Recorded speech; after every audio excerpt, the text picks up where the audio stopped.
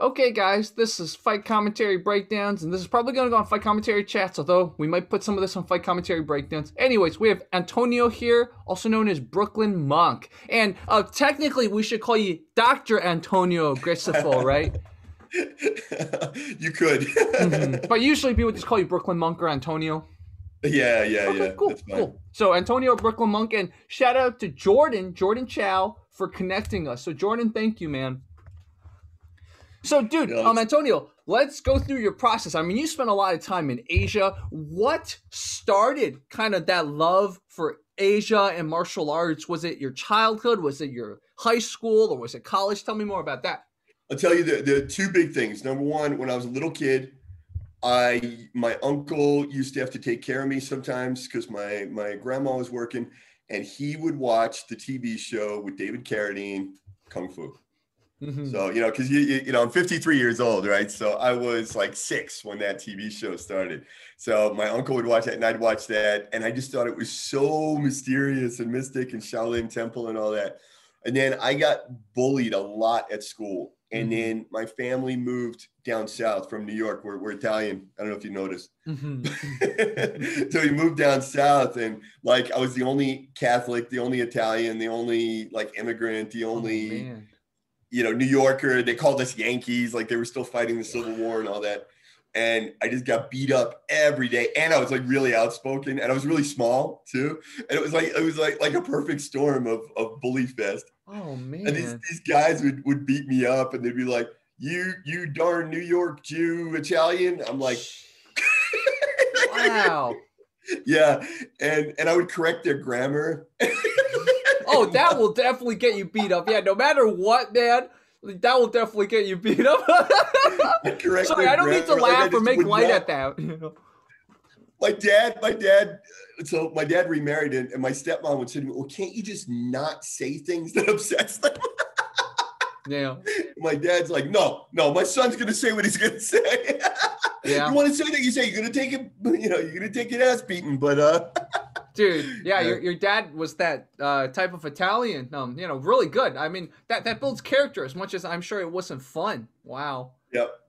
So and then yeah and then there was one other italian family living down there in tennessee and and that kid got picked on too. So his dad told my dad about the martial arts school and so i started martial art when i was 12 and i loved it. And my teacher it was called the fire and water system of kung fu and his whole thing was that he had studied kung fu overseas and his master told him when you go back to america remember that you're teaching americans you're not teaching asians. He goes so you got to make it american kung fu. Oh. so he changed everything and it was mainly kickboxing and you got to because by then it's like 1978 right? Mm-hmm. 79 and you know chuck norris is like the baddest man on the planet and he's doing point fighting you know and so martial arts really still had, while it had a mystique, it had kind of a bad reputation too, because everybody knew a Taekwondo black belt that got beat up. Mm.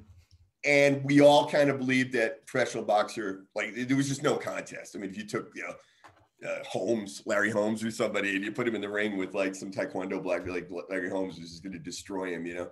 And we didn't know about wrestling. We didn't know wrestling was martial art, but um, but my teacher, so he, he taught us kickboxing, and black belts would come from other schools. They want to fight with us. My teacher would say, "Do you understand?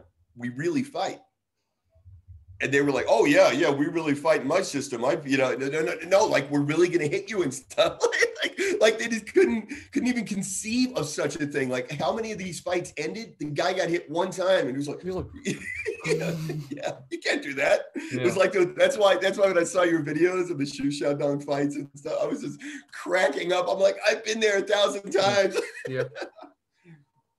but yeah, that's how I got started, and then uh, did martial arts with him, and he he was a um, returning Vietnam War veteran, and so he encouraged us to go in the army and all that. So I went in the army when I was 17, and wow. went through the infantry, and uh, I boxed in the military, and then uh, I boxed all the way until yeah i stopped for a few years when i went to university and then i started boxing again and then uh, and then when i came to asia well after 9-11 i decided i was going to go to asia to go to the shaolin temple and that was my plan i mm. wanted to go to the shaolin temple because i dreamed about it my whole life and i said oh, i'm going to go do this so i went to taiwan studied chinese studied kung fu then went to the Shaolin Temple.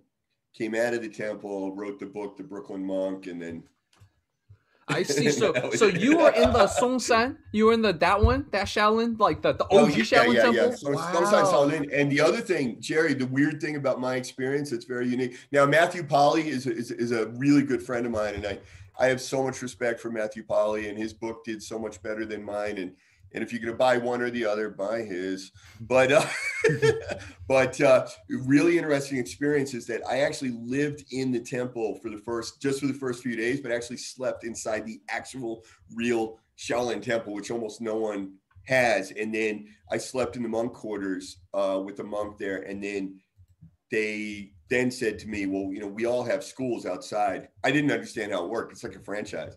Yeah. The, each of the monks has like his own school outside, yeah. and that's where his students live. Yeah. And that monk wanted like a thousand dollars or something, and this was 2003. Like that was a lot of money in China in 2003. And yeah. I said, no, that's ridiculous. And then he goes, well, how much do you want to pay? I go, I don't know, like 200. And he goes, okay, I'll find you a monk. Yeah. Yeah yeah. So and the thing is, he was definitely over, going to overcharge you, right? So it was good you bargained it down. You probably could have gotten away with a hundred even. In the book, in the book, I just kept writing things like these people have never even heard of Brooklyn.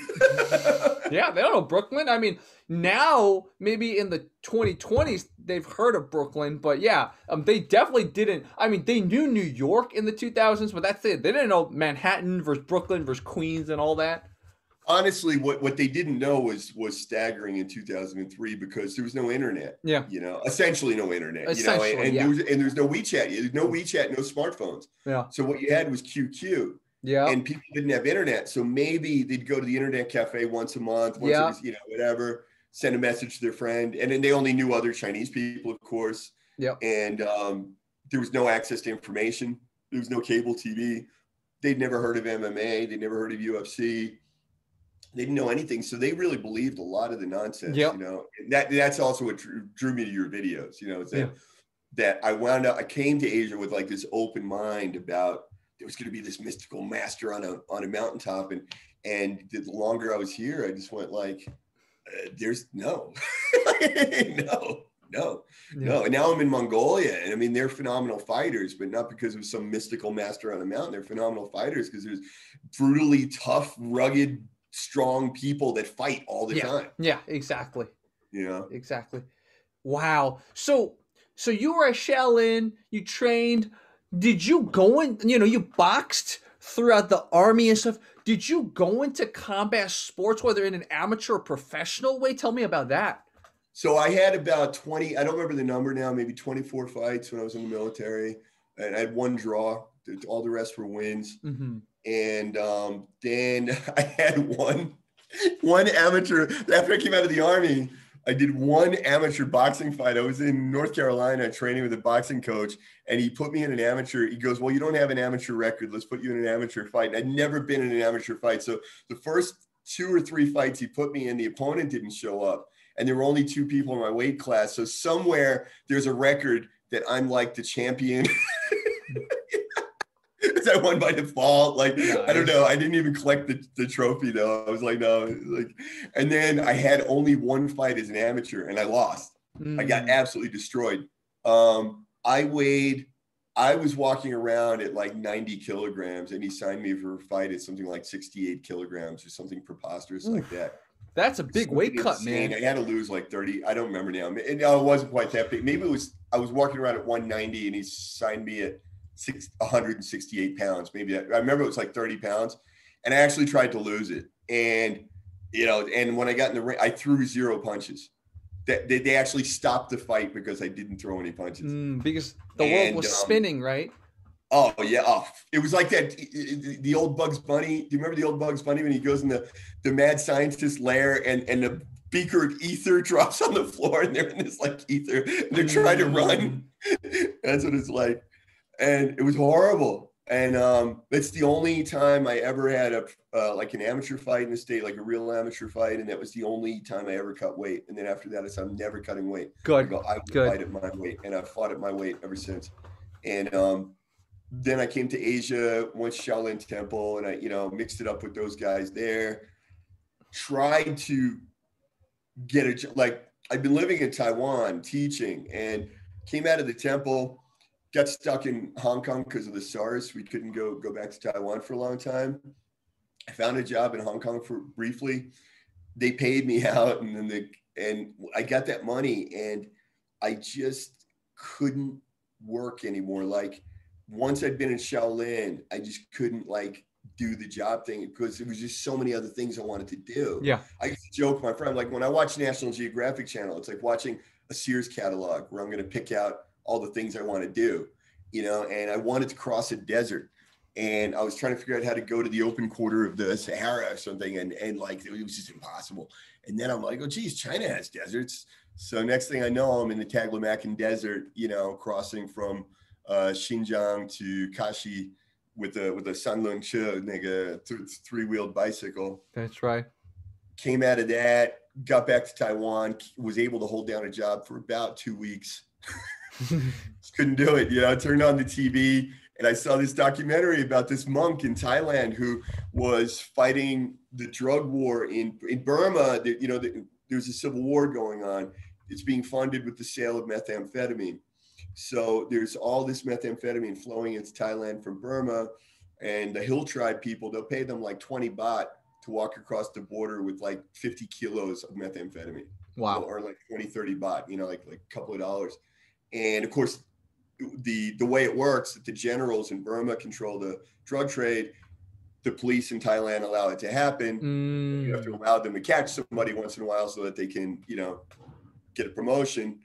And so these people will just get, you know, thrown to the wolves. Three, four dollars walking across the border, with all these drugs, they get arrested or they get killed. They got killed a lot. Very often they got killed because the cops then figured out, well, what we could do is we'll kill them and we could take half the drugs. There'll be nobody who knows how much drugs there were, and then we'll sell the half the drugs. Wow. So yeah, so this was going on. So there was this this monk living in the forest, and he started. Uh, somebody brought him a horse, because you bring gifts to monks. They brought him a horse. And he's like, what am I going to do with a horse? So he goes out riding the horse and he's riding along the Burma border and he gets to a town and there's like dead bodies and there's drug addicts and this is horrible. And this woman says, can you take my son to your temple and teach him? Because I don't want him to, to wind up dead. So at first he was like, no. And then, and then he's okay, I'm a monk. I have to help people. So he takes this kid and then eventually gets a horse for the kid and they go riding on the horses and they go to another village and they're like can you take my kids so they don't get killed and so next thing you know he winds up building this this monastery in the jungle and all these kids like they're all traumatized because their parents were murdered or their village was burned or they're addicted to methamphetamine. Tons of them were addicted to methamphetamine. So he starts teaching them Muay Thai as a way of wow. Getting them off of addiction. So I see this on TV and I just went, I have to, I, I have to find this guy. So I fly to Thailand I had a picture of him. The first thing I ever downloaded off the internet in my life was a picture of this monk. I actually had to get somebody to help me do it in the internet cafe in Taiwan. I got this grainy black and white photo. It says Chiang Rai. I just like get on a bus, get off. The, the guy is like, "This is Chiang Rai." I'm like, "Okay," and I don't speak a word of Thai at the time, and I just get off and I'm just showing this picture. I walked around for two days showing this picture to people, and then one it's like i just sat down at a gas station kind of like threw my hands up in the air like what am i going to do and also i figured it's a gas station there's lots of people coming so everybody who bought gas i showed them the picture and then this mm. one guy mm. goes he yeah and of course we couldn't communicate you know but he goes you know basically said get on the back of my motorcycle and he drove me all the way up the mountain to the monastery and just dumped me there and then i met Prakru Ba, and I wound up living with him for a number of months and learned that he was my first Muay Thai teacher. I learned to speak Thai, and um, eventually came out of that monastery. And what happened? Yeah, then Cambodia, and then just on and on and on. Cambodia, I heard about the traditional martial art there that was dying, and I went there and followed up.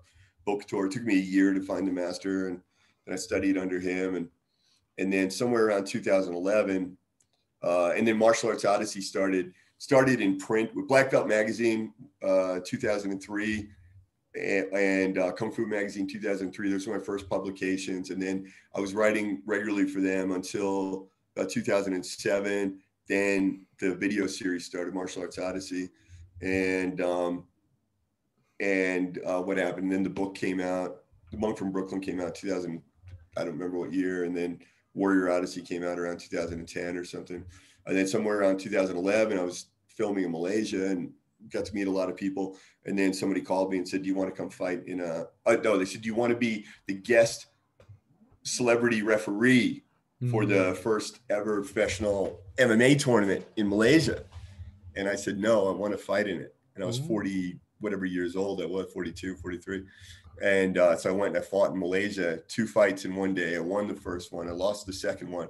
And it was like the perfect thing to have happened because if I'd lost the first one, I would never have fought again. If I'd Mm. lost both of them, I'd be carrying that undefeated pressure. It's like, all right, I already lost one, but I know I'm capable. And so that's it. And that's how I started fighting professional MMA. Wow. Wow. And so you mostly fought out of Malaysia? Yeah. Mhm. Uh, all all my pro fights were in Malaysia. I think I had like two pro boxing fights in Thailand, and um, yeah, when I was living with Kru Ba, we went to fight in like a, a temple fair in uh, up in Chiang Rai, like northern Thailand, and um, and I I couldn't fight Muay Thai. It's really nice. I hung around Thailand and Cambodia training for years, and it improved my my Muay Thai. But I just never ever thought that I should go fight a professional Muay Thai fight. I just did not think that was a good idea and um, so we went to fight in the Temple Fair, and so they arranged a boxing fight for me on the Mhm. card. So I fought one there, and I fought one down in Hawaii, uh, nigga, uh, professional boxing. But uh, but all, but my real fights are my MMA fights, and that's that's all all out of Malaysia. Then uh, toward the end of that year, I lived in, in the academy in Malaysia, like slept on the floor, basically slept in the cage for like a year, training full time, fighting full time toward the end of that year, it was like I just kept getting in, you know, it, like, not even that I was getting injured, it was that my body was wearing down.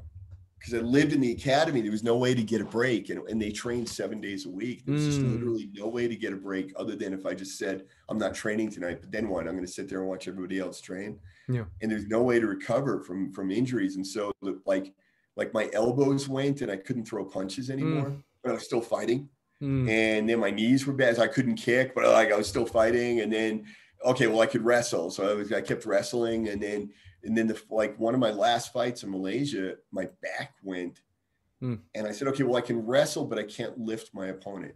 And like that's all I had walking into the fight. Like I knew I couldn't throw punches, kick, or my body was just, you know. And so I went online to look for a job and, and I could not believe I landed a job at Shanghai University as a lecturer. So I flew to Shanghai, started teaching, and while I was there, I met um, two PhDs who gave me a lot of really good advice. And they told me to pursue my PhD. And um, we had a day off, and I went to the sports university. Oh, this is crazy too. I posted on Facebook. I go, there's apparently a sports university in Shanghai, and they have a wrestling team. I'm going to see if I can go wrestle there. And somebody on Facebook who I've never met wrote and goes, Oh, my wife knows the director. I'll give you her phone number. So they gave me the phone number of the director. I called her. So she was expecting me. I went there to talk to them about wrestling. And by the end of the meeting, she goes, Oh, your Chinese is really good. Do you have a master's degree? I said, Yes. She goes, um, do, you- do, do you want to uh, have a full scholarship for your PhD and come wrestle here? Mm. Yeah, and so that's how I got in Shanghai University of Sports. I ended up spending three years there. They, it was a four-year PhD program. They waived the first year because I tested out of the Chinese, and because I walked in with a really, a really good idea of what I wanted to research from day Mhm. one. And um, yeah, I got through uh, three years, graduated that. Had some amateur fights while I was in. I think I had about eleven, maybe amateur fights, Sanda, MMA, boxing, while I was um, in my studies there and then um, and then and then I had two pro fights in 2019. So wow. yeah, just before all this nonsense started with the pandemic, I had 2 pro Mhm. fights, and we're planning another one in the fall of 2019. But I got a staph infection, Mhm. so we moved it to. Um, we said, well, we'll do it in early 2020, and then 2020 the pandemic started, so I didn't get to to fight again. I see. I think the natural segue would be what was your research topic about for your PhD? My research topic was um, 正式摔跤跨文化比较. So it's a cross-cultural analysis of Western and Chinese wrestling. Wow. And really interesting. I published the on the on the dissertation. I let them tell me any changes, anything. I didn't find anything. Oh, you want me to change that? Okay, well, I'll change. it. I'll change it. Didn't care Wow. because I felt like the dissertation is theirs. They're going to prove it. I have to just let them do whatever they want. I don't care because I just wanted to graduate. But I saved all my notes and then I wrote the book, The Wrestler's Dissertation. And that's been published in English in the United States. And so that was like my heart. That was what I wanted to write. And I Mhm. absolutely don't care that my, you know, PhD dissertation doesn't match that. You know, the dissertation's like unre- it's completely unreadable. It's the most boring thing anyone's ever written. And um, but uh, but yeah, the wrestler's dissertation was my heart. And now I've got a publisher who's asked me for a book about my three years at the sports university. So I'm working on that right now, and I'm supposed to turn that in on June 30th. I see. I'm um I'm gonna save all of these these books you've written in one of my Amazon lists so people can look at it. okay, great. Yeah. You put it on your wish list so your fans can buy it for you. Yeah, for exactly. Exactly. I have like idea lists that I can create. So this is perfect. Wow. But the Monster So- Brooklyn's a really, it's not very well written and it's very angry. It's like, mm. like angry, oh, it's funny and angry and critical. Like, and I get criticized a lot for that. The new book's a lot different because it was written after many years in Asia and just a different, different perspective. But I mean, so critical, which is why I liked your fight commentary back then. yeah, because I I used to be I used to take that angry approach too. Sometimes, you know, I'd be Yeah. like, oh, look at this guy. You know, you teach BS. I used to be like that, and then yeah. I think you know we all go through that process, right? Because for me, um, just to tell viewers a little bit, I don't think I've ever talked about my experience in China. I mean, I did, but the one thing I never gave credit to was that I had some good classmates. I was the only American kid in my school, but I never got bullied. It's amazing Right. if anything, I was angry and I fought my classmates a lot, but they were rarely the ones to initiate it. You know, I would kind of I would create a situation where then I would have to fight them. But you know, credit goes to my classmates. I only got jumped once, and that wasn't because I was the American kid. It was because I made the the Star Trek kid jealous.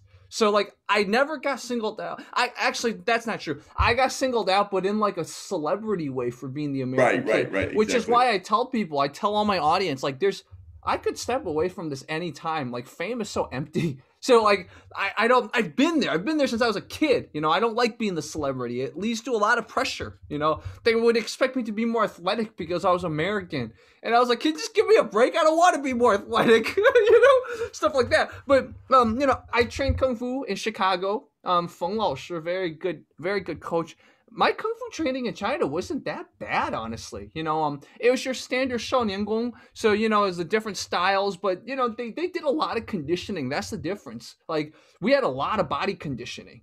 Um, when I came to America is when the kung fu training really got bad. And I, a lot of my anger, a lot of people like, why are you so angry? It's like my anger isn't at Chinese culture, so to speak, or Chinese people or kung fu. It's at those three wasted years of kung fu in America where it got all these injuries and stuff like that. So I took a very long break, and then um when my channel started, that's when I kind of got back into martial arts training. So I took a very long break, but it really gave me time to think whether I really want to train. And the answer is, of course, I want to train. So yeah, um, so that's a little bit where some of the anger in some of my early videos came from. But tell me more, Antonio. Where did the anger come from for you? I mean, it was, you know, when I lived in the temple the first time. Okay, so 2003, I was in the temple the first time. 2013, Black Belt Magazine said to me, "Why don't you go back and do like a 10 year, you know, perspective?" And I needed to get in shape because I got, got accepted to my PhD program. I needed to be in shape for the wrestling and Sanda at the university. I needed to pass the HSK. So I said, you know what I'll do? I'll go to Shaolin Temple. I'll arrange, you know, Chinese lessons while I'm there it's the only way to really be immersed in China. It's like so hard to be immersed in Chinese. Yeah. People think when you're living there, you're Yeah. immersed, which is just nonsense. Absolute nonsense. Absolute nonsense. The average foreigner in China, unless you have a very specific job and situation, you have like three minutes a day exposure to Chinese language, and it's the same thing every day. It's like talking to the taxi or you know ordering food. Yeah, So I exactly. go to Sh- yeah. So I went back to Shaolin. Uh, it was so much better. But um, when I was there the first time, I lived in a house where there were 60 people. One uh nigga, some small nigga outhouse. There was like one outhouse, right? A one hole outhouse. It was full. Okay, it was completely full. It was overflowing. So they said to us, so they said to us, don't use it. use the use just go outside. No, yeah. no, no. no, no, no, no. What? Don't use it. Full stop. And I'm like, okay, well, where's plan B? Yeah.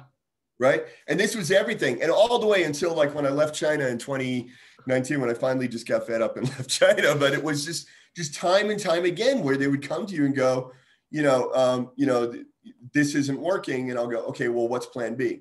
And there's just there is no plan B. There's just nothing. You just no, you just just just don't use the bathroom, you know, for the three months of your year. You know, and, and like stuff like that. And like you get 60 people living in a house, there's no showers. So we'd go like once a week or once every two weeks to take a shower. And then um and then SARS started, and then they closed all the shower places. And I go, well, what's plan B? Oh, there's no plan B. Okay, so we're just not going to bathe. It could because there's a pandemic, you don't bathe because that's obviously how you you know deal with a pandemic, you know. And it was just it was just on and on and on stuff like that it was just ridiculous. And and like so I got there and we had sparring, and basically all the students just using boxing. That's the other thing because growing up, my teacher H. David Collins fire and water system of kung fu in Tennessee. He told us boxing is like eh, essentially the baddest martial art on the planet, you know. And back then we used to we used to fight like taekwondo guys karate guys whatever and we'd always win on our boxing and now i will say my teammates in in america and tennessee they could all kick better than me so my kicking was never good but one reason why my kicking was never good because i never saw the point i was like well mm. you, you know all your knockouts come from boxing all these guys, once you cross that middle distance, once you get within one meter, it's boxing range. There was no wrestling back then. So once you were one meter, you were you were safe. I mean, you couldn't even get hit, and you're just punching this guy. And then what are they gonna do? Throw their taekwondo reverse punch, you know, kia, whatever. Like, like let them. You know. In fact, I'll give you a freebie. You know, because it's nothing. And um, so that's how I grew up. So I get to Shaolin and I was sparring these guys in Sanda sparring. And okay, I couldn't beat all the instructors, but I could beat like the students. I'd never been punched in the face by a boxer, you know? And um, so that was kind of my first, uh, actually in Taiwan, I guess it started, but that was kind of kind of my first like the the the the myth beginning to just unravel, you know? Mm-hmm. And um and and I would I would beat those guys. And then later they'd bring me to the monk and I'd have like an audience with the monk. And then he would say to me, and he would always say, he's like, and Shaolin Kung Fu is the most powerful martial art in the world. That's why no one from outside has ever come here and beat one of our people. and you're like, like, I've been beating your people? Yeah. Yeah. I mean, other than this afternoon. Yeah. You know, and and they really believed stuff like that. And I remember like just all these insane beliefs they had about martial art, but it was because they hadn't been exposed to anything. Yeah. Nothing. Yeah you know? And they really believed that like you know doing the you know wubu chuan or whatever they were doing that like they were going to be able to like beat people in a fight. When i went back in 2013 they were oh the other funny thing though even in 2003 so all wushu students learn some sanda. Yes. learn a little bit. Yeah. But there are people that are in the sanda track. Yes. And they basically learn wushu at the beginning and then after that they do you know 80 90% is yeah. sanda. Yeah. Okay guess what they every school i haven't been to every school in china but every school i've been to guess what they do? Cat. yeah. When you have sparring day sanda students spar with sanda students wushu students spar with and they never fight each other. And in fact i've even been in competitions where they had two categories. Wow. they actually had a separate competition for the wushu students because the sanda students would absolutely destroy them. Of course you know, even at the at the sports institute at Shanghai University of Sport, like we had Sanda. I, I entered one competition in the uh, university, and because they wouldn't let foreigners fight, which is another really common thing in China. It's really hard to let foreigners fight or participate. So I, Zhang, Zhang Lao Shi, who was in charge of Sanda, was, he really liked me and I really liked him. And he taught the PhD, all PhD students had to take Sanda Ge Do class and he was the teacher for that. And so he really liked me. And of course, in that class, I was like, you know, way ahead of like all the other like, you know, all these academics, you know. Here, hold my glasses while I do this kick badly. And um, and uh, so he really liked me. And so he invited me to all his classes. So when they had the competition, he allowed me to fight. But when I was signing up, they go pro or amateur division. And I go amateur. And I go, I, am a student from the Wushu department. I get to fight in the amateur division. And uh, he comes flying over. He's like, no. I go, why? I go, I'm not a Sanda guy. You know, I'm an MMA guy. I've had, I've had some Sanda, but yeah, that's not fair. Yeah. He's like, no, you have to fight in the pro. And I mean, he was right and he was wrong. Obviously, they put me in the Wushu division. I would have just, I can't imagine anybody could have could really beat me. But obviously, then they put me in the pro division. Then what do they do? They put me with like the biggest, strongest, toughest heavyweight who's got like 200 fights Mm. and he's 20 years old and he's still fighting, you know? And they put me in with him. And the bell rang and I immediately just like grabbed his head because they, they, most of Asia, they can't Thai clinch. Uh, You know, Thailand, Cambodia, they, they, they know the Thai clinch really well and they train there, use it. But even here in Mongolia, I'm able to control guys with Thai clinch that Wow. I can't beat wrestling, but I can control them with Thai clinch. And um, so I just tie clinched him. And then I was like about to hit him. And then I thought, I don't know what the rules are. I suspect you're not allowed to hold the guy like in a tie clinch and like punch him. Yeah. And I thought that's not nice. And I didn't want to do it. So I didn't. So I let it go. And then, of course, I had nothing else, right? Because he can, you know, he can avoid all my kicks, block them, whatever, and then kick me really, really, really bloody hard, like to the Mm. point that I can't stand up. And and so yeah, I just got like absolutely that that's probably the worst beating I've ever taken in a competition fight in my life. And uh, I went back back to the dorm and I'm like laying on the bed and I'm sending out WeChat messages. I'm like, the, the, the birds are circling. You're waiting to feast on my dead flesh. I'll be dying soon. You can have my Captain America action figures. Wow. Man, look at that. Avengers mug right there. Always. Yeah. Wow.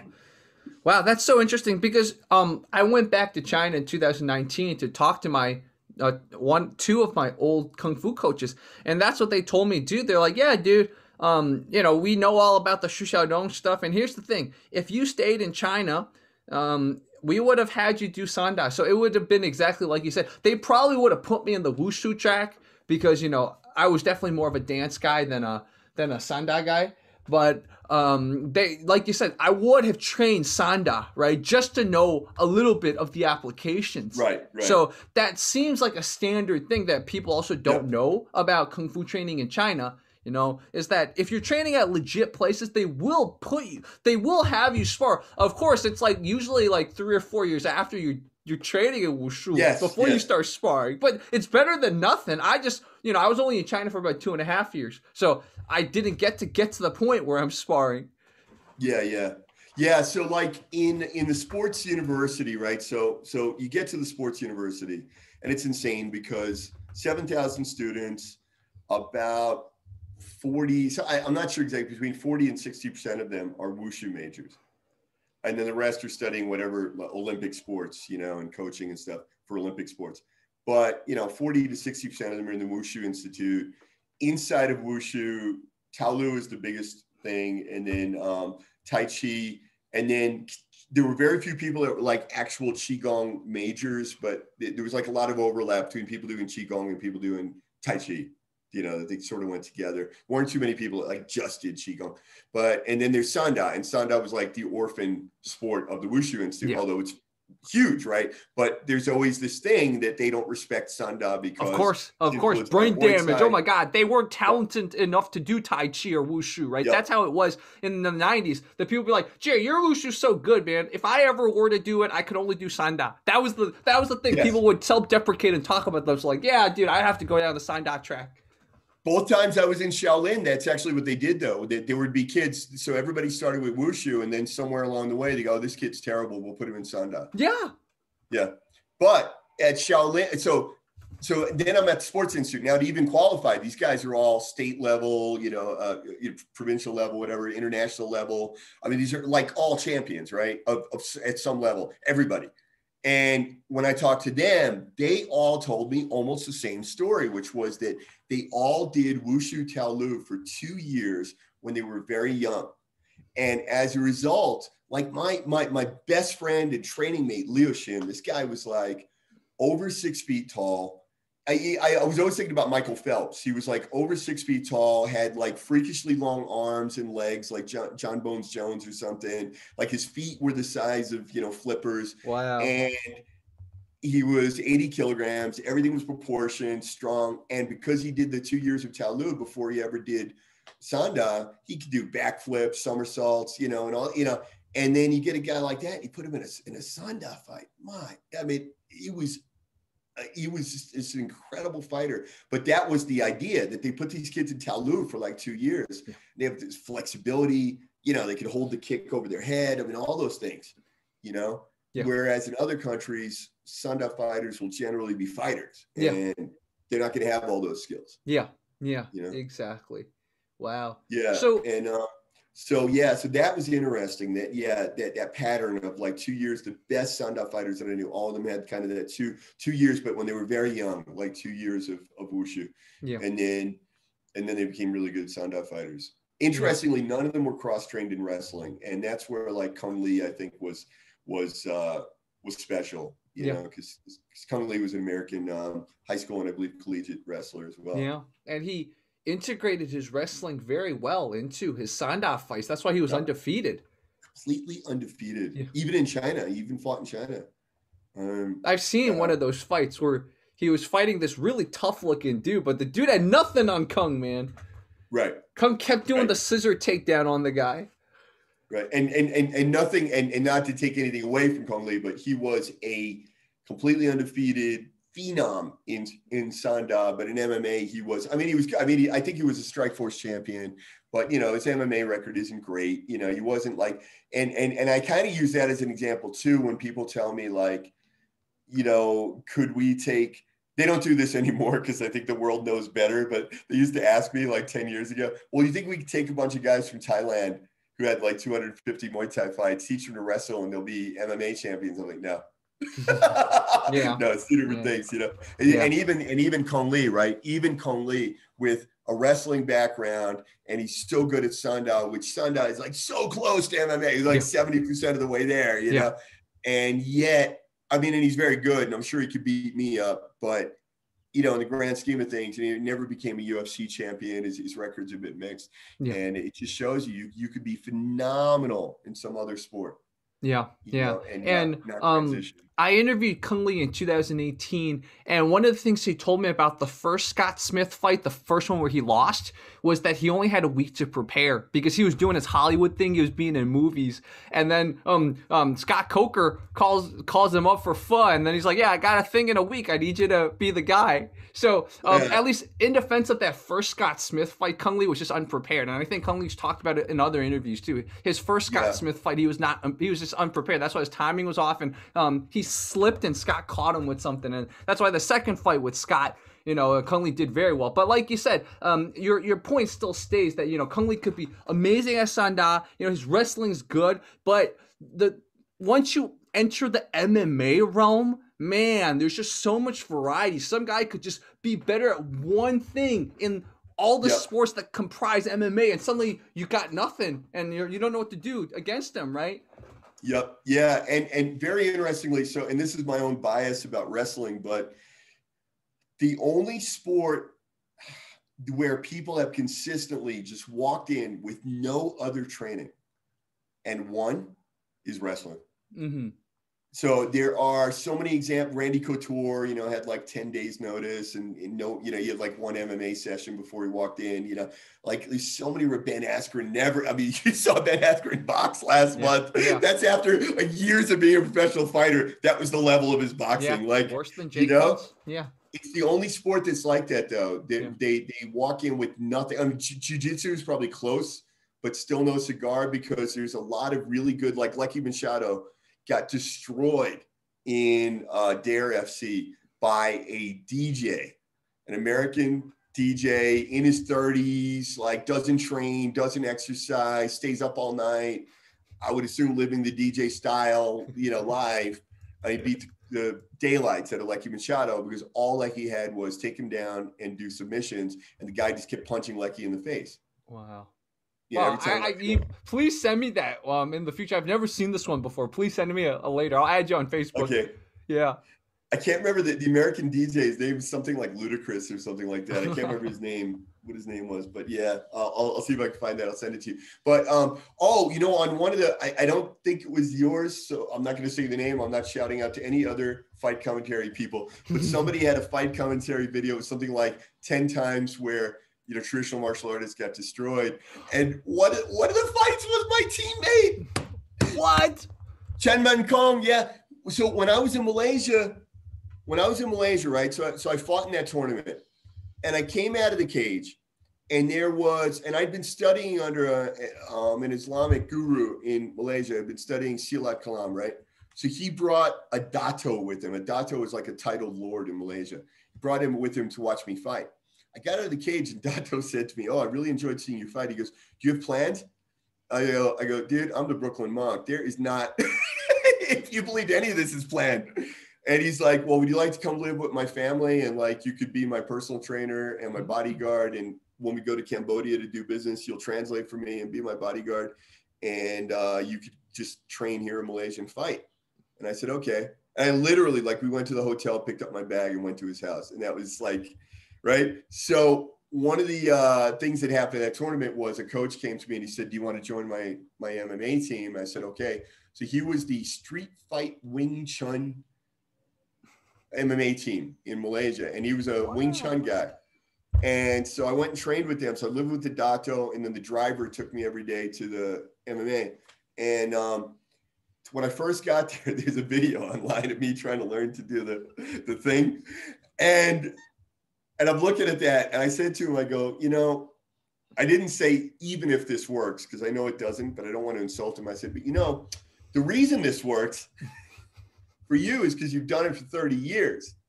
I don't think I can learn it in like six weeks and then fight again, you know, whatever we're fighting again in six weeks. I don't think I could learn this, you know, and, and fight again. And then I also like, and I had to be like really diplomatic. I'm like, you know, and I have a really extensive boxing and the Muay Thai background. I go, maybe I should do that. And for these other boys, this is good because they don't have anything. And so they're starting from a clean slate. cup is half empty or whatever. and uh, so he said, okay. So he didn't make me do the Wing Chun, but my teammates had to do it. So my teammate gets in the cage and he's got his hands out in that, you know, that Wing Chun thing. His name is Chan Man Kong. And um, and he fought Lecky Machado. And it was right after Lecky had lost to that American guy. So Lecky doesn't want to lose, right? So he he broke my friend's arm. Ooh. I think and I've seen that coach, one. I, he started on the just, center. They moved him back, right? Yeah. yeah. Yes, oh, that's so that's. That's your teammate. What? That's the one. That's the one. And the referee referee says to him, I think I'm trying to remember who the referee was because I knew the referee too. But because I fought, I fought on that card. Wow. I fought on that same card. Yeah, I fought on that that same night, and um, his hand was like over the line. They're like, no, has to behind the line. And then finally, the referee's like, put those hands down. Wow. Yeah, I fought on the same card, and, and I won my fight. I think it was the that was the night that I fought Red Shaw, and okay. um, and then, so then the fight, what do you call it? Like the fight records, the stats for the gyms got published, right? Uh huh. So that gym had all these wins. 80% of them were mine. Wow. 80% of the wins of that gym were mine. And that's when I went, okay, if I stay at this gym, I don't think I'm going to learn anything. Yeah. So I just got to, and plus Chen Man Kong, he was, he was my good friend. I mean, I enjoyed training with him. He didn't know anything though but I could still kind of train with him. But now he had a broken arm. So I'm like, okay, so now I don't even have that. Like, wow. who am I going to train with? Some 65 kilogram guy, you know, that may or, you know, with, with questionable skills. So um, we shot a pilot for a TV show. It was going to do, we were trying to do like the Ultimate Fighter in Malaysia. Uh-huh. And we had the selection day where all these fighters came and they competed for a spot. And I was the coach and we are going to, you know, pick out the best fighters to, to go on the TV show. So one of those fighters, it turned out, owned – a gym in Johor Bahru, Malaysia, and they had been running MMA fights for like for years. No one knew about them. They didn't have any press. So I get down. So he invites me to go live there, and that's how I wound up living in the academy. They had their own fights every month. He had guys with like at a time when there were no the only professional MMA promotion in Asia, uh, let's say outside of China and Japan, the only one that was going was Dare FC in Thailand and they only had like three or four events. And then I get to Johor Bahru and I find out there's this thing called Ultimate Beatdown, and they and they were having events every month. He had guys with like you know 12, 15 fights. at a time when nobody else in Asia had any, at zero. You know, everybody had zero. And um, yeah, so I wound up living down there, and that's how I was able to fight all the time. But yeah, Chan Kong. wow. Uh, for those who wonder what I'm doing, I'm literally writing all this down. Like, uh, um, Antonio's dropping all these knowledge bombs on us. It's awesome because one of the first videos I ever covered on fight commentary breakdowns. This is very old, and I'm I'm looking at the metadata. The metadata is probably not even correct, so I need to correct it. But yeah, it was a it was. I found that match and I like did a little commentary over it. It's crazy. Like it. Maybe like, it was your video then. Maybe it was you where I saw. Because I just saw it recently. I was cracking up somebody's video. I'm like, oh my god, this Sherman come. And the other funny thing was, I went to New York, and yeah, because I was fighting in Malaysia. I went home for Christmas, and I was on um, Eddie Goldman's uh, uh, uh, No Holds Barred. And Eddie said to me, he goes, "Yeah, you know, you know, we want to talk to you about this guy who got his arm broken." apparently everybody knew about it like around the world and and it was like it was like what the hell is going on in malaysia? Yeah. so there were two things happened right around the same time. So chan man kong got his arm broken and the other one was there was a fighter two of my friends that they were promoting as they were going to be the new thing. One of them was raymond the rocket too and um, Raymond was like really good looking. He was a Sanda champion in Malaysia. He was, you know, he's popular. People liked him, and they, they were trying to promote him as like the next thing in MMA. And um, so we had a fight in in the early days of Malaysia. We had a fight in um, in um, nightclubs, right? Mm-hmm. So we were in a nightclub fight, and they announced over. So Raymond won his fight, his scheduled fight, and then they announced over the over the anybody from the crowd can get in and fight him and he fought like two other people. They just like stepped out of the crowd. Dude, he, Bak style, huh? Wow. Yeah. Yeah, but he beat them easily, and then that even made the like even in New York they knew about it. They're like, "What the hell's going on? You got this professional fighter fighting people like in a bar," and uh, yeah, they were kind of upset about it. Wow. But, but he got into Raymond. Like, there's another example. Raymond was a Sanda champion, but in Malaysia, so he had very few fights compared to like uh, Sanda champions in China, right? Mm-hmm. But he trained at, I believe, Beijing uh, Sports Institute for I don't know a year or something. I mean, like he was good, his skills were good, but he never wanted to learn to ground fight, never wanted to learn to wrestle, and you can only go so far. And so yeah. Malaysia, it was easy for him to win. I don't think he ever lost any fights in Malaysia, but then he got into ONE FC you know, and he immediately lost. Oh, I see. Yeah, I'm looking at him right now as you're talking to Raymond the Rocket. Yeah, and he's my good friend, you know, and I'm not. Yeah, dude, he he should him. stop fighting being movies, man. He's got like that movie face. He does, he does. Yeah, he um he. I think that's what he's doing actually, because mm-hmm. he uh, I think he's back in Malaysia and he's doing doing movies and TV stuff and. Yeah, yeah he's doing it because you know, fighting. with my face, I can only play villains, right? So he, he can play he can play the guy. I, I love playing villains, so yeah. If you want me to play villain, I'll play villain. But you know, he can play he can play the good guy. You know, it's great. I, I, played the villain for many years, and now that I'm getting gray hair, I can play like the general. Ah. That's awesome. So, Antonio, let's go even more in depth about kind of your disillusion with Chinese martial arts. So, you know, you saw that in Shaolin, you know, they trained some mediocre fighters, but you could beat most of the students and stuff. What else did you test out? I mean, you know, we learned about your journey in the sports universities and stuff, and you know, they they wouldn't let you fight amateur because you beat all the amateur, right? What other things made you question sort of the efficacy of certain martial arts practices in China? Well, I mean, basically, look, look, wushu taolu, you know, uh, taekwondo, you know, any of these things, karate. Uh, if you have a kid and you want to put them in martial art, I think these things are wonderful for children. I think it's great, and I came 180 degrees on that. I used to be really against it. I used to be really against belts and all that. Now I'm like, no, you know what? Let your kid go in Taekwondo. Let them earn that little belt and work, and because they learn to work towards goals and discipline, and they'll have the flexibility, they'll have the high kicks, and the average person doesn't need to fight. So it's fine and it's good. And I think those things are great. Ta- taekwondo, Wushu Taolu, Wushu Taolu. And, and, the cool thing about Wushu Taolu is that when your parents have a barbecue and they go, show everybody your Kung Fu, you, know, you can do your thing, right? Whereas, you know, when, when my dad would say, hey, sh- show them what you're learning, you know, I'd like punch somebody, you know. and uh, so I think it's good. but it's not fighting, and, and you need to recognize that.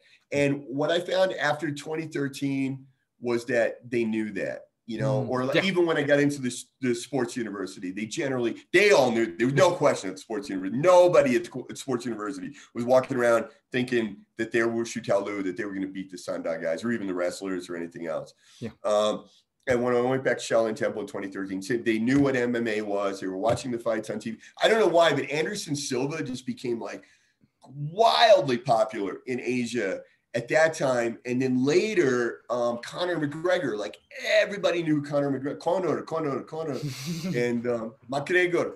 MC, oh, it's funny, my Vietnamese friends would call him MC Gregor, like, MC like he was a rapper. Yeah, nice. Yeah. I mean, Conor could Yeah. probably be a pretty popular rapper if he tried. He's got the talent. Do whatever he wants. Yeah. Because yeah. my students were all walking around because I was principal at high school, you know, and I saw the kids doing this crazy zombie walk in the hallway. I'm like, what the hell is that? And then I was watching a Conor McGregor fight. And I realized it was his, it was the Mm. Conor walk. yeah. Yeah. Up. Yeah, you know, Antonio, it's funny you mentioned that fact that, you know, a lot of people after the 2010s, that's the timeline I give for people who ask me that too. I would say the majority of people with a brain in China after the 2010s knew that kung fu was not the most effective thing to train if you want to fight, right?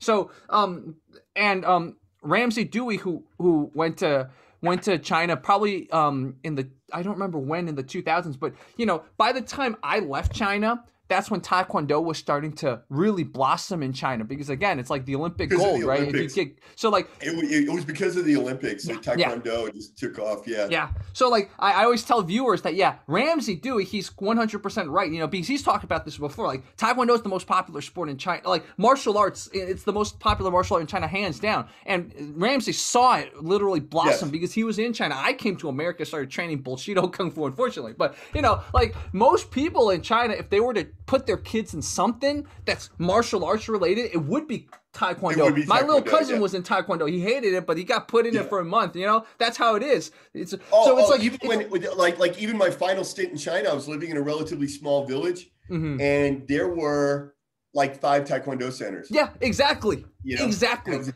tiny little village, and Yeah. not even one like Sanda boxing. You know, and there was like five Taekwondo Yeah. centers. You get to maybe a tier three city and above in China, um, Yeah. and you might get a Shaolin Gong for Kung Fu, Yeah. but that's about it. Like below Yeah. tier threes, you're not going to get like um, Yeah, this was a tier three. It was a tier three city. There was one Sanda school, but it was like only open on Saturdays. You know, it was very limited. There was one judo, judo slash Sanda as well, and it was like Mhm. only on Saturdays. yeah, But yeah, Taekwondo, there was like numerous, you know, at Yeah. least five. And then several of the schools Yeah. had their own Taekwondo program. Lots of schools have Taekwondo program. My school did. I, I hired a Taekwondo teacher. for my school, nice. Nice. Yeah. And uh, at least from what I tell viewers is that see because the majority of people with a brain in China knew that kung fu was not the most effective system. This there was like no debate, right? It almost feel like the debate was actually more in the West. You know, and part of it was people like me bringing all these fights, and then all these people who drank the Kool Aid in the West were actually the ones arguing. Like most people in Oh, China yeah. would would talk to me, and I'm sure they would would tell you the same. They'd be like, "How can you guys make a career out of like disproving kung fu's not effective? We all know it's not the most effective thing." They're like, they're like, wonder how the West would get confused about that. Oh, I know, I know. It, it amazes me how many people in like rural New Jersey or Ohio, they've never been anywhere, and they're telling me I'm wrong about China and Chinese martial art. And Ramsey Dewey, we did this so the podcast uh, that we did together. Basically, he kept me on this on, on the thing about Shaolin Temple. That like we talked about that. It was the whole day. He's like, "Can they fight?" I go, "No." and like and he's apparently like quoted me like all over the internet. And and he took he said that that one episode got more views than all of his other episodes. And he you know and of course there's all these negative attacks and you know but it, it, it's the reality. And it kills me that i don't know anyone who trained in china who then or trained significantly in china who then says to me you're wrong. Yeah. right or who fought in China, like because Ramsey Dewey fought, you know, MMA, and of course he runs an MMA gym in, in Shanghai, and um, and uh, there I have had people who studied at Wudang, at the Mm, Wudang, which is basically you know a tourist temple, the other tourist temple, of course. which doesn't even have does not even have a tago, does not even have like a sanda component, as far as I know. So it's like even worse than Shaolin, because at least at Shaolin, there are guys who lived in Shaolin a long time, and then they go, and then one day I saw the sanda training at Tagou, and I thought, oh, you know, what the hell am I doing? Or any of those guys could beat me up, right? But you don't even have that if you're in Wudang. So uh, those are the only people I've ever had that trained in China that criticized me. You know, but I've never had anybody that fought Never. I've never, I always say I was I never had anybody that fought one more fight than me, who criticizes me, published one more book than me, who criticizes, you know, it's always some guy that's done nothing and he's certain I'm wrong. Yeah. Yeah. Um, my, my cousins who don't even train martial arts, even they knew they're like, yeah, Jerry. Everyone, everyone that that are my peers knew that kung fu's not the most effective thing. Doesn't mean it's not cool. It's just not the most effective yeah. for fighting. So they're they, they really were confused. They're like, Jerry, how do you make how do you make a career out of like just showing this stuff? I'm like, you know, other people, you know, it's funny because we were talking about earlier how Chinese people a lot of times are in this really big bubble, right? But it's the yeah. same elsewhere. You know, there's certain people in America who've never really left their village either right? Yeah. All they have is limited set of what their TV and now what their internet shows them. They don't know what the real world's like either. I can't believe that I'm still having these arguments though. I yeah. mean, I can't believe that we're still I mean, recently, recently my Facebook got suspended uh, because a, a, a, a, taekwondo master from US that's living in Chiang Mai and he's arguing with me about, you know, taekwondo can beat, you know, I'm like, what? What? Where are you and you live in you live in Chiang Mai. I didn't hear you say you had 27 fights. Yeah. You know, and then uh, so I challenged him to an MMA fight. I go, that would be the simple way to settle this. Let's let's organize an MMA fight. And then he reported me for bullying. Wow. Okay. Yeah, I was wondering because like just arguing is not enough, but I see. So he like, oh my god, he's bullying me. He wants to fight me. Yeah. I see. Yeah, I'll add you on Facebook right now. It looks like your Facebook's back, so that's good. Yeah, yeah, yeah. No, I just got one of those suspensions where I couldn't do anything, but my account was still there. Oh, I see. Okay, yeah, I just added you, but yeah, yeah. it's it's it's unfortunate because I think um, this is uh, definitely a, a, good conversation topic to talk about, but context is important, right? If if you guys are arguing about martial arts and you're like, hey, let's go, let's go, just test each other. That's different than, hey, I'm gonna beat you up because you're, way, you know, that's different. Well, and the other thing is challenging someone to an MMA fight is very different than threatening. I don't yeah. see how that's threatening. It's yeah. not threatening, yeah. you know. And um, you know, but anyway, yeah. I mean, like all these guys, all the years I've been doing this, right? All, you know, I got criticized a lot. I used to be a lot more of a public person than I am now. I mean, now, you know, I'm kind of like fading away a bit, which is fine. Um, as you said, yeah, there's nothing wrong with not being famous yeah. too, right? It's fame is empty, man. The, the, the, you realize like all at the end of the day, having like a few good friends is enough. that you don't yeah. need yeah. Well, what I found out, what I found out was I used to not like the people who criticized me and then when I when I interacted with people that really liked me or they were fans or whatever, I found out I didn't like them either. Yeah, yeah, one hundred percent. You know, and I hate to like sound awful, but a lot of these people, I was like, what? Like, like if I met you, there's no way I would hang out. like, you're an idiot. You know, a lot of them were more, and and and like what happens is if people agree with you, you don't know why they agree. Because like if somebody disagrees with you, you, you argue and you find out what their reasoning is. Yep. When people agree with you, you don't argue, and then you find out, oh my god, he agrees with me for like the dumbest reason. Yes, yes. Like he's yes. equally as wrong as the other guy, except that he's on my side. Yeah, I find that yeah. with politics. I find that with you know. So yeah. Anyway, so you know, I wound up that I was getting criticized a lot. And very often these guys, any anytime, anywhere, I'm like, all right, well, January 13th, you know, we're having a fight can I sign you up? Let me send you and send them the hold harmless waiver, mm-hmm. you, you, know, to sign this and this.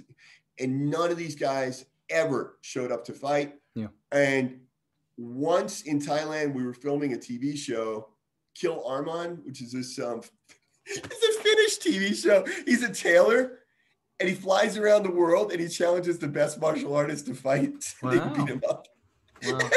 so, and I was on two episodes of a show. We did one in Taiwan and one in Thailand together, and I organized his uh, Cambodia one. But anyways, we are in Thailand filming the Kill Arman TV show. The mm-hmm. guy showed up that wanted to challenge me, and it was exactly like that scene in the movie Dragon, the Bruce Lee story. Yeah, yeah. It was that scene, and I had to tell the cameraman, "Go shut off the camera." Wow. I this guy. and I beat him up. And they turned the camera back on and we finished filming the scene. but that's the only one. Like in all these years, and all these people are challenging. And it's not that I'm such a tough guy, it's that they're not. I mean, it's a big I'm not saying because I'm such a fierce fighter. That's not what I'm saying. I'm saying that the people who do these things are completely weaklings. And the people who could beat me would just never do that. Yeah, exactly. Exactly. You know? Yeah, it's it's so interesting. You know, Will and, Chope, um, Will Chope's like one of my best friends. He's had like 150 fights. You know, mm-hmm. Will Chope's never to yeah challenge. Yeah, and if he did, he would just destroy me, right? Like, yeah, yeah. Um, something I'll really add to what you talked about earlier. So, my fight commentary audience is really good. Like so far, I've only had to block like it's it's less than 20. I've only had to block like less than 20 people out of that many people that do contact me, right? So, and I think part of why the fight commentary audience is really good is because you know my, my channels i'm not claiming i'm some good fighter. I'm not claiming anything. So like we we usually most people have their egos in check so that's already a good thing. And then we're usually if you watch my channel it's probably open-minded right? So it's like open-minded right, people who have their egos in check. So that's why i get along really well with most of my fight commentary audience. But man my other channel that i used to I used to have where I was talking about controversial issues, talk about politics. I had the exact same experience you had. I would meet my fans and I'd want to hit them in the face, like uh, yeah, figuratively, yeah. because it's like exact. You you took the words exactly out of my mouth that I wasn't able to express for like five years. They would agree with me on like the stupidest shit. It's like that's not the point of why right. we're on the same side. Yeah. Why the fuck do you relate to me? Forgive my French on this right, right, stupid ass thing, you know? And, and, well, you know, you know, you know, and it tells you, but but the good thing of, of that realization, Jerry, it keeps you from hating people who disagree with you because yeah. you suddenly realize actually the majority of people their opinions aren't based on very sound logic yeah. or reasoning and, and it's on both sides because it's very easy particularly in, in, politics you go the other party those guys are wackadoos yeah, yeah. you know but my party is smart yeah. and then when you start talking to people in your party you go actually although they agree with me they agree with me for like really dumb reasons that, yeah. that are not sustained by logic or you know yeah stand up yeah Wow, that was so refreshing to hear you say that because I'm I have 45,000 followers on that other channel. And they're still like they're still a very small sizable number that are always like, dude, we love you, Jay. We, we're encouraging you. But the majority of them, I would want them to just go away. And nobody can right, right, right. like I could never explain why. And it's because if I met the majority of them, I'd be like, this is a judgment on myself that I have these people watching me. it's like if it, uh, on the office, I have a couple of jokes that, that, I have with my publisher, and one of them is um, he goes, "Why don't you do book signings anymore?" I go, "Because I don't like the people who re- read my books." exactly.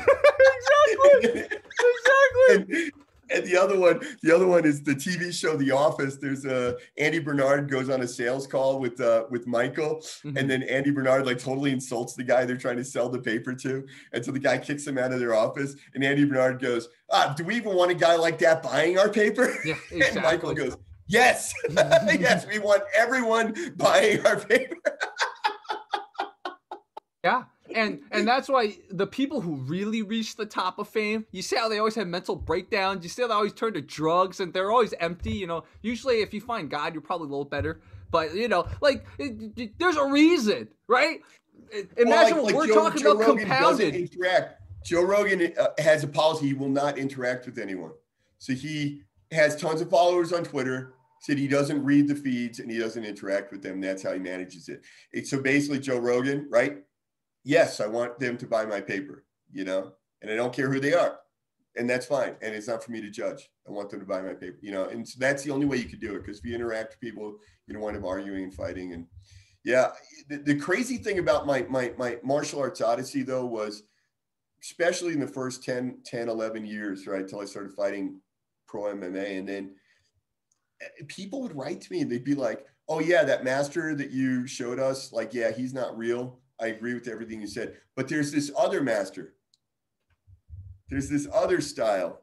And I would always pin them down. I go, well, where? Because I can actually go there. Unlike you, where it's up to, um, I will go there. Mm-hmm. I am wrapping up things in wherever I was, Vientiane, you know, you know, Kampong Cham, wherever I was. I'm wrapping this up tomorrow, and then I'm, I'm I'm free to go anywhere. Where is this other master? Well, you know, he's over the next hill.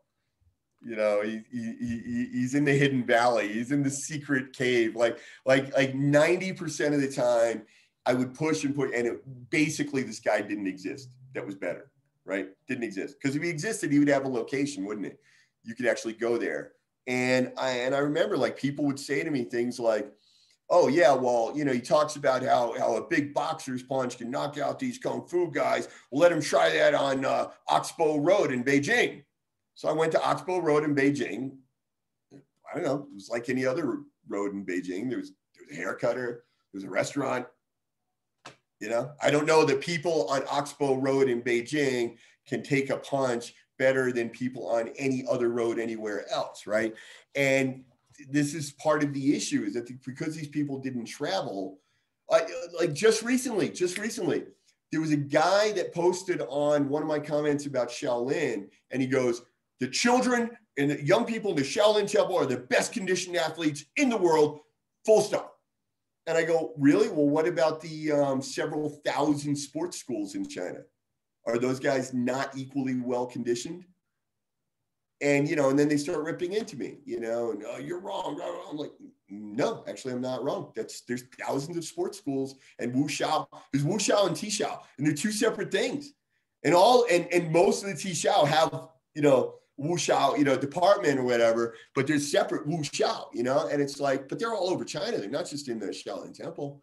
Yeah, and um, and, um to support what Antonio said, there's a reason why China gets so much gold, right? They have the T Xiao, okay? Literally put kids in there since they're kids to train up their bodies. You have to tell them. they don't yeah, know. T Xiao Sports University. No, so no, no, no. T Xiao is a sports school. Yeah, exactly. So yeah. they put these kids in there since they're very young. Like, uh, I'm sure people in the U.S., whatever they're watching, have probably read articles about like basically s- specialized institutions that train people for one thing to get Olympic gold, right? Yep. Like, that's a real thing. So, like, yep. you know, there's very legitimate places in China where it's like OCD level of training your body. Yeah. So, so my new book, my new book, uh, tech, right now it's called The Wushu Doctor. I wanted to call it The Wrestling Doctor, but then I thought I already have a book called The Wrestler's Dissertation. So I'm calling it The Wushu Doctor because technically I'm a doctor of Wushu. Uh, so the new book, The Wushu Doctor, I don't know if the publisher is going to keep that title. But anyway, I talk about all this because it's my experience at sports university. And so like, okay, so you got the T-Xiao. So what happens is there are agents that work for these T-Xiao and they go out into the countryside and they'll come to the village and all the parents will bring their kids because you know everybody wants a better life for your kid right? And they're like look if we pick your kid kid's going to go to school for free free food free clothing free medical they're going to learn sports they're going to make a gold medal in the olympics they're going to be a millionaire and you're going to live off that the rest of your life.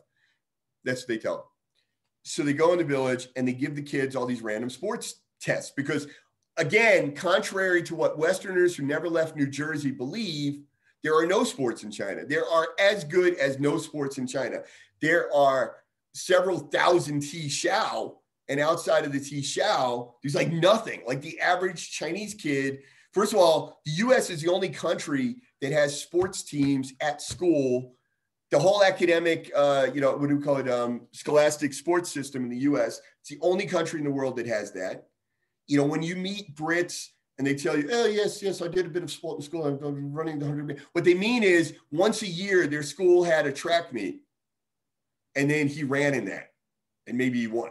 You know, that's what they mean. They, they don't have scholastic sports on well, like we have in the US. So the way they do it in China is you have these T-Xiao, kids are selected at a very young age. They put them in a T-Xiao. They don't go to school. They just learn one sport and they have, by law, they're supposed to have three hours a day of academics but it's in a one room school. I mean, I mean, I, I, I, write about this in the book. Like I went there, it was a one room school room. There were kids literally, listen to this, Jerry, seven years old and 20 years old sitting in the same classroom with one teacher and no books. And that's yeah. their academic training, right? Yeah. So then they do the sport all the way through T-Xiao.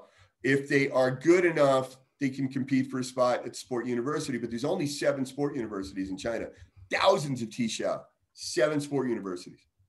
And unless you go to Beijing or I think Xi'an, it, depending upon your sport, it's very unlikely that you're going to go any further. Like that's pretty much it. You know, you'll you'll compete at the scholastic level, you know, collegiate level, Uh, you probably do some international, but the odds of you going to the Olympics pretty minimal.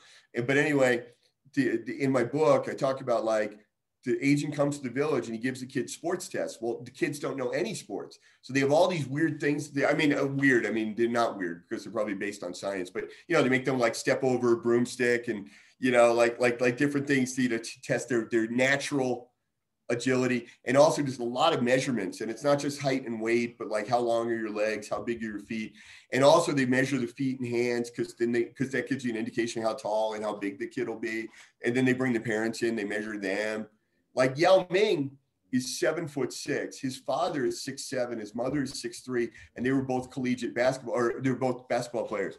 And um, so, all my friends at the sports university were telling me about like when the agents came to their village, and all of them said, I would say ninety percent of them said that the sport that they were picked for, they had never heard of.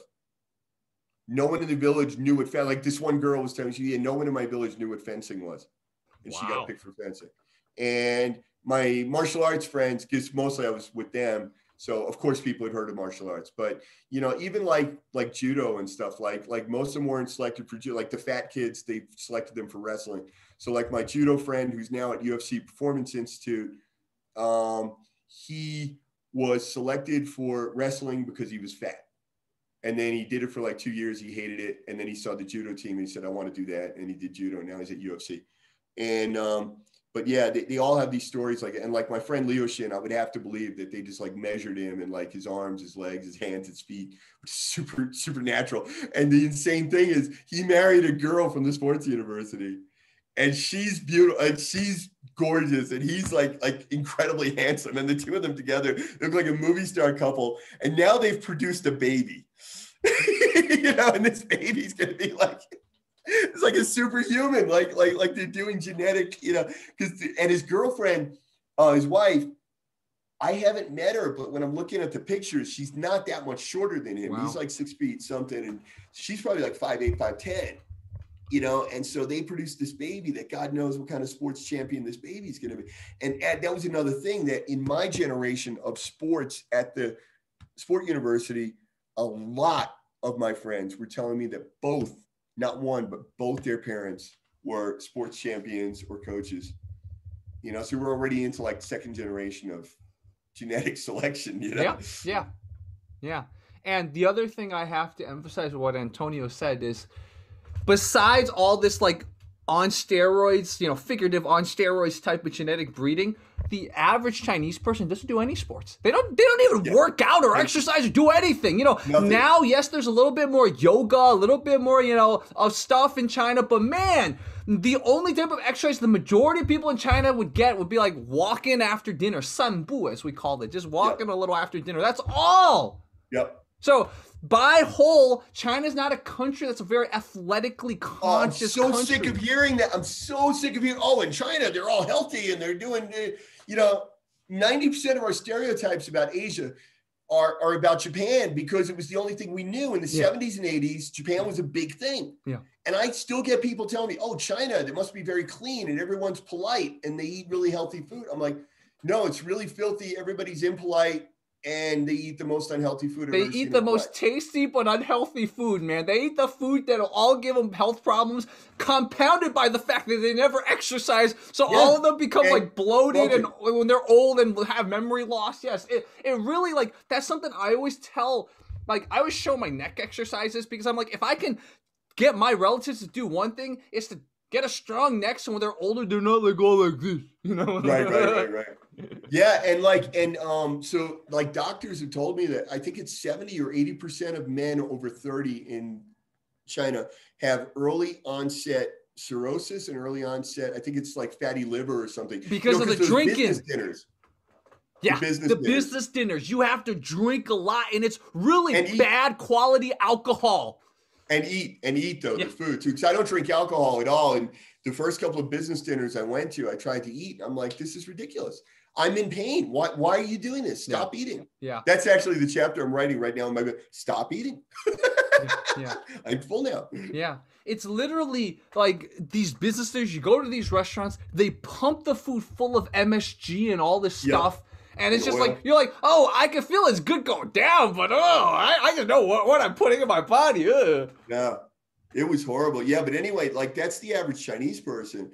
And I'm so sick of hearing, you know, like self loathing Westerners or self critical Americans. And, oh, in China, they know that. And the old people are so active. I'm like, you know, I, I've done a paper on this. I went in the US, I Googled like senior citizen skydiving. Like do it right now. Like, like tons of stuff comes up because there's like crazy, like senior citizen, you know, rock climbing, like, Yeah. like all this stuff you could do. Like my dad was bodybuilding. He was 75. I got a picture of me and my dad posing when my dad is 75 Wow. you know and that's what america is and then in china that is not what's Yeah. happening It's not, it is man. a myth it is a myth in fact in china there's rules that you can't participate in professional sport beyond a certain age Mm. and I, and I would inevitably wind up getting some kind of you know they'd let me because they knew me which is also a thing in china right Mhm. but you officially you couldn't. And I knew lots of people that signed up, paid for a fight, paid for a competition, showed up. Oh no, I'm sorry, you're over whatever it is, 28 or something. You're not allowed to compete. Yeah. You know. Yeah. So, The, a lot of these age restrictions, man. Yeah, man. Ridiculous. Yeah, you know, if you're well enough and if you're willing to go and you can pass a medical, why not? Why do you care how old Yeah. the person is, right? Yeah. especially because you're probably going to win. Yeah. yeah. Yeah. But uh, but yeah, I hate I hate the self-loathing Westerners. I hate this this misconception the Chinese are all healthy and this and that. I hate the misconception. I've done several. I've published a paper, published several papers on Chinese education system compared to the U.S. It is not better. It is dramatically worse. Uh, the PISA scores are taken from the best school in Shanghai compared to the average school in the United States. That's what the PISA is showing you. The best school in Shanghai compared to the average school in the United States. That is not a fair comparison. I mean, you still have hundreds of thousands of one room schoolhouses in China where you've got kids, you know, like I said, from seven to 20 years old sitting in the same classroom with one teacher and no books. Oh, really? That's better? Like, I don't And care where you went to high school. Even the most elite schools, you know, they're just teaching you to pass that college entrance exam called the. Mm, Some of my audience would know that. They're, so yes, you're better at getting a score, a bunch of scores on an exam. Doesn't mean they, they know anything about creativity or entrepreneurship or anything. or, or, or thinking or applying what they Yeah. what they've learned. Yeah. Yeah. I know. I mean, I mean, I, I've been in like, like I've literally been in rooms full of my Chinese colleagues where my jaw dropped open that they couldn't do something like it's 60 kilometers away, and if we drive 60 kilometers an hour, how long will it take us to get there? and like they they can't figure it out. I'm like, are you serious? But meanwhile, if you gave them an equation already written out, like something really hard from you know calculus three or whatever, like they could do that Yeah. Yeah. You know, because they're not dumb. I mean, it's just a different kind of skill. But but you know, you know, they did not have like problem solving ability like that. And Yeah. Exactly. because the education and oh, and you mentioned the Gaokao. I don't know, I don't know how much Jerry you, you've done with the sports, you know, research in China, but you know, there's a sports Gaokao. I did not know that. Wow. So there's a sports Gaokao. So the kids that come out of the Tishao or the Wuxiao. So Wuxiao for the audience is so Xiao means Xiao Shui, which means school, right? And then Niga, or rather like elementary school or Shui Xiao is school. But then the Wuxiao is like the Kung Fu schools of the kids. It's like a boarding school. And then the Tishao is like the sports boarding school. But anyway, so the kids who come out of that take a sport, if they want to go to university, they take a sport Gaokao hmm and it only has, I believe, three subjects. It's um, math, English, and culture. You know, Mm-hmm. Wenhua but like Wenhua Ke basically is like, yeah, communist indoctrination and like the glorious history of, of China, right? But I think it's just those three. And uh, but it's really interesting that English is one of the Yeah. requirements at a very low level. And then you have to get so many points to get it to get to university. But if you've won a national title, you get points added. Oh, of course. So there are people that so it's some metric of the two, right? So like there was a kid at oh, and then there's another thing a lot of people don't know about. So the sports universities have a high school program where outstanding high school athletes move to the sport university, live in the dorms, train full time, and they're not guaranteed admission to the university when they turn 18. So they still have to take the sport Gaokao and test in and everything. But there was a kid, can't remember his name right now, but there was this kid at Shanghai University of Sport. He was a Sanda fighter. And I watched him because I was there for three years. You know, so I watched him go from like 14 to 17 years old. He had won so many international titles that when he took the sport Gao Gaokao, he just had to sign his name. Yeah, yeah.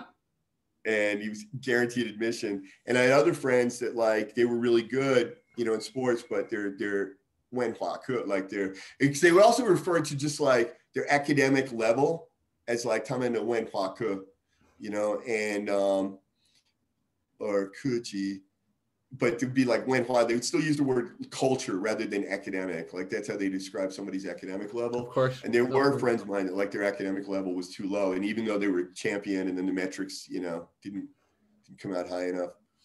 But um, yeah, that's most people don't know about that. And that's kind of one of the reasons why I'm writing this book. Yeah. Yeah even the standard Gaokao, so not the stuff for the sports, but just the standard Gaokao, if you have certain things, like if you're very athletic, they'll add some points to you. Yeah, it's, it's so funny. It's like it's it's not a completely fair system. Yeah. But you know, was, the, the U.S. is oh, the same. Also colleges. different standards if you're rural, rural or uh, city. Oh, that's a big one. Or if you're yeah. one of the minority groups, you get a lot of points yeah. added to you. Yeah. Oh my God! Yesterday I needed uh, data on height and weight, and um, the urban height in China for men is eight centimeters taller than the rural height. Oh, yeah, totally. That's insane. Yeah. As an economist, one of the things we look at, obviously, you know that the cities are going to be richer than the rural areas, but the disparity between the development of the city and the rural area is actually an economic indicator. And obviously, the bigger that disparity is, it means the less developed that country is. Ooh. So even though Shanghai looks like the Jetsons, the fact that you've got people with outhouses and they can't read and you know whatever and six fingers like in the countryside, it means that your country really is not developed. And like in the U.S., like I lived in New York City and then we moved to rural Tennessee. Now my city in rural Tennessee has you know three or four universities within a reasonable driving distance. We got a community college we have, um, you know, it's probably like three MMA gyms. There's four really four hospitals. Two of them are good. Two of them will cut your leg off. But you know, the point is like, you know, in a city of 20,000 people and where the, the, the, the, surrounding cities combined comes to less than 100,000 people. And you had all of that. And you don't have that in China. Like I was going to do a paper comparing my city to a Chinese city of the same size that was the same distance from a major city because we're mm-hmm. like the closest major city to where I grew up is Nashville, which is 6 mm-hmm. hours away. Mm-hmm. So I mean, we're really far even from any other city, you know, and yet we had all that, and you don't have that. Um, and plus, we didn't have dirt roads. I mean, you know, highways and you know everything was normal, electricity. You, know, Wi-Fi, cable TV. You know, by the time I was in high school, we had all that stuff. So, uh, you know, when you compare that to China, that's not the case you know and if you could even find a hundred thousand person city that was six hours from the nearest million person city which i don't even know if you could find that in china but it would be you know unlivable you yeah. know? Yeah. Yeah. Wow.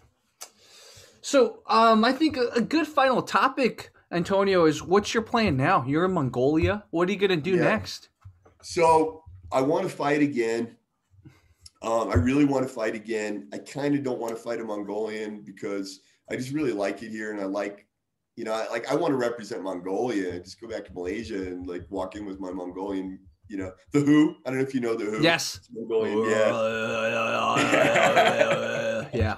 I love listening to them. They had a song called "Ooh Ooh Ooh" or something. That's, yeah, that's you know. Well, you know what that's about, though. That's about that's about how the young people have lost their way. The young people have forgotten the glory of Genghis Khan and and and the pride of of their nation, and instead they're adopting all this foreign, you know, culture that's that's rather vapid, you know, and even like Ooh. they're even self-loathing in a way because they're not modern enough. Wow. And yeah, and that's what U is about. U means what's going on, but. You know, it's basically what he's saying. He's like, I talk to young people, they don't even know who Genghis Khan is, what's going on. You know, wow. I talk to young people and they're doing all these, you know, things that, you know, and, and, and they hate themselves. They, they, they don't even love themselves for being Mongolian. Mm-hmm. Anyway, though, so I do want to fight again. Um, I, I'm friends with the promotion here. They said that I could fight here uh, when I'm ready. So I might take them up on that, depending upon the COVID situation. I lost um, during the lockdown. I, I, I uh, permanently changed my diet. I lost 30 pounds. Then I doubled my workouts. So now I'm in really good shape and um, started sparring three weeks ago when the gyms opened. So now I'm sparring. But, you know, I still got a long way to go, particularly if I'm going to fight in, in Mongolia because they're really good, you know. But, um, but uh, yeah, I do want to fight again. I'm in Mongolia. I'm writing. I'm writing this book right now about the sports university. Um, my long-term project here is that I'm writing a book about Mongolian uh, uh, culture, the uh, Niga wrestling culture, and I submitted that as a PhD dissertation thesis to the university here. So, um, so that's what I'm doing here, just writing my two books and uh, thinking about fighting. And I teach economics at the university. Cool. Well, sounds like you're staying put in Asia for a while.